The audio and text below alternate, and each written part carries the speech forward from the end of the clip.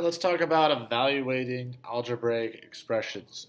So, uh, if you've watched my order of operations video, this isn't going to be too far of a stretch from that, just one extra bit. So, uh, here, given the function parentheses x plus y squared minus x times y, with x equals 2 and y equals 4. So, I'm telling you that x is 2 and y is 4, and we have this algebraic expression with x's and y's in it and I'm wanting you to evaluate this algebraic expression. So what we should do is, if we know this information, we should plug it in. So we're going to replace all x's with a 2. And anytime we see a y, we're going to replace that with a 4. So let's go ahead and do that. So we'd have rewriting, I'm going to rewrite this equation. Anytime I see an x, let's put a 2. Anytime I see a y, let's put a 4. So I'm going to have parentheses.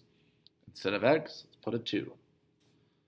Plus y, well, y we said was 4, parentheses, squared, minus x, which we said was 2, multiplication, y we said was 4. So all I did was I just plugged my x, y's in. Say we had more variables, x, y, z, whatever. Just plug them all in for all of their different variables. Next, all this does is turn into an order of operations problem, which I already I've talked about this in a previous video. So just follow through with the order of operations. So parentheses first. So I see 2 plus 4, which is 6. Still haven't touched the square, the minus, the 2, the multiplication, or the 4. Uh, now moving on, I would look at the next order would be the exponents here. So 6 squared, which is 36. Didn't touch the minus, the 2, the multiplication, or the 4. Uh, after that, multiplication division, so I have 2 times 4, which is 8. Didn't touch the 36 or the minus.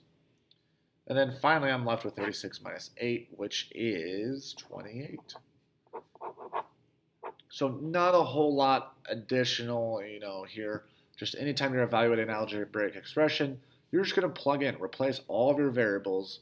Um, they will tell you, hey, x is this, y is this, z, whatever, w, um, just replace all your variables and then it turns into just an order of operation problem. And that was evaluating algebraic expressions.